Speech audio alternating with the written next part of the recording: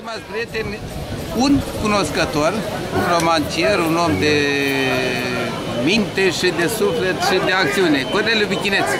E și bărbos pe lângă toate alea, dar e și vicepreședintele Consiliului Județean. Domnule vicepreședinte, sunteți la o manifestare. Ar trebui să fie tradițională, numai că e, e pe aici, pe acolo tradițională. Oricum, în 1971, la prima ediție, nu mi-aduc aminte dacă erați prezent, aia am făcut-o eu, dar de atunci sunt niște ani, aproape 40. Ce părere aveți despre Festivalul Fanfarelor? Domnule profesor, am o părere foarte bună, mă simt bine aici la Ivănești, sunt la 10 km de satul meu. În 1970 eram uh, elev, nu participam la astfel de festivaluri pentru că mai târziu am început să prind gustul mulți ani de pauză, acum șase ani, în satul Vladea, am reluat tradiția. A fost prima ediție a festivalului, asta reînnoit, este a șasea, atunci au fost 17 fanfare, acum sunt 8 9 pentru că oamenii se mai duc la muncă în străinătate să câștige un ban și este foarte bine că sunt tineri, sunt copii, sunt vârstnici, e frumos ce se întâmplă aici. Deci cum facem să încurajăm asemenea fenomene? În primul rând, primarii trebuie să aibă grijă de cei care cântă, să le cumpere instrumente, să-i ajute să, cu săli de repetiție, iar cei care știu muzică să învețe și pe cei mai uh, tineri. Iată am văzut și Da, sunt grupul aici foarte celor mulți de la tineri, da? Rotarea din Vaslui, m-am bucurat pentru ei, evoluții superbe de la an la an, dar nu numai ei sunt buni, sunt foarte mulți copii talentați în satele din județul Vaslui, pe care eu îi încurajez. Astăzi eu voi premia ca de fiecare dată trei fanfare din fondul trupului. Secret. Asta e. Mare secret îl aflăm după festival.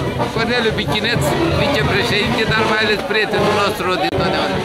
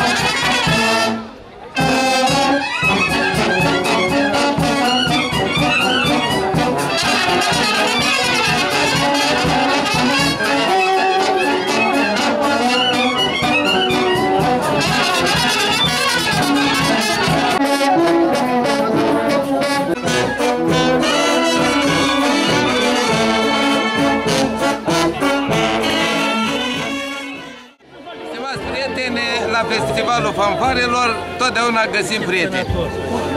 Eu am uh, o relație specială însă cu cei de la Ghergheș Mănoiu, nu numai că sunt prieteni cu primarul, profesor, și pentru că aici am descoperit și un participant de acum uh, 40 de ani la prima ediție din 1971 la Brodoc. Mai întâi cu primarul. Uh, Domnule primar, aveți o formație bună, am ascultat-o, mi-a plăcut. Cum ați reușit să-i mobilizați? Este o tradiție la Gherghești. Ceea ce privește fanfara, încă de pe vremea lui Ștefan cel Mare, au fost înființată prima formație de suflători din zonă, zona de Târzești Gherghești, o tradiție care se păstrează din nefericire. Se pare că această tradiție pare să se piardă. Eu încerc, fac tot posibil ca să o păstrez. Fac uh, așa natură încât să obțin acești 20 de lăutari din comună. 21 ai avut asta. 21 au fost astăzi, din nefericire. Eu vorbesc dureroase și pentru mine eu crescut copil fiind al, al locurilor, am crescut, născut acolo și am crescut primele cele erau vorba de sute de, de lăutari. Așa, era o bază serioasă. Era o bază serioasă. Astăzi putem vorbi doar de acești care i-ați văzut astăzi 21, 20, 21 lăutari, care s-au prezentat din punctul de vedere ca specialiști sau disponibili. Eu îi felicit pe această cale și mulțumesc din nou pe această cale constituțională că a organizat acest... Consiliu, mă interesează dacă ai tineret, ai copii care învață. Da, într-adevăr, după cum ați văzut dumneavoastră, predomnă tineretul. Predomnă tineretul. Deci sunt 40 de ani. Predomnă tineretul.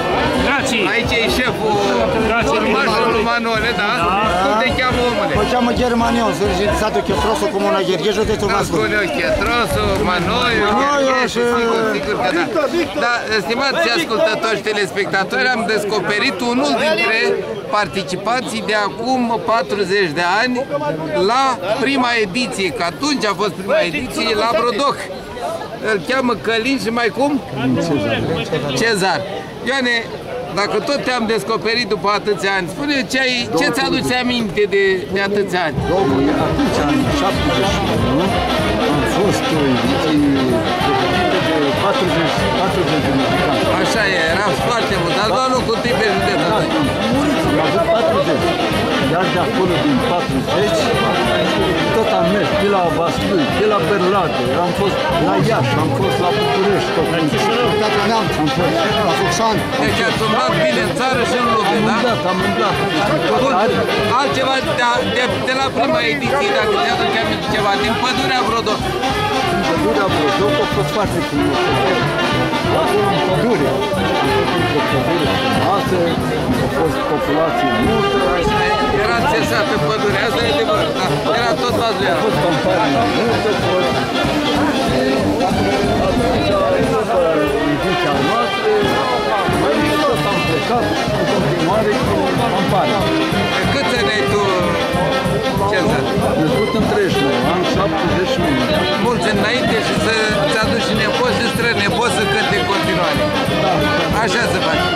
Mă întorc la primar, ai un blond lângă batale, ce caută? Ce caută? Zi, cum te numești? Din noi, Mihai Nicolcea mă cheamă.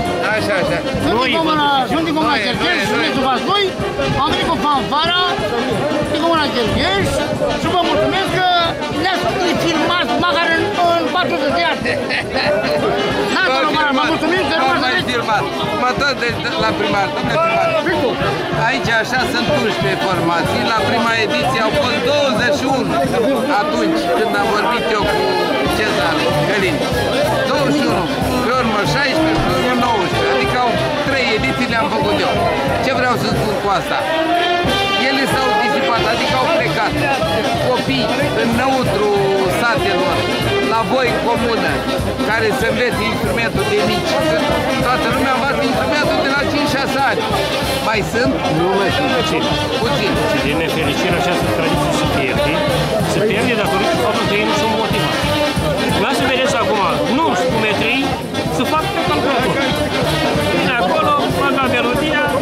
O cântat și cu asta s-a terminat. Nu se poate păstra această tradiție nu se poate continua decât cu asemenea evenimente cum suntem astăzi cu participăm. Așa măcar să motivăm cât de cât. Nu mai motivăm. Tineretul, cei Atunci, mici, nu mai sunt motivați. Apropo de motivații care până la urmă tot la bani ajunge. Toate trec prin stomac.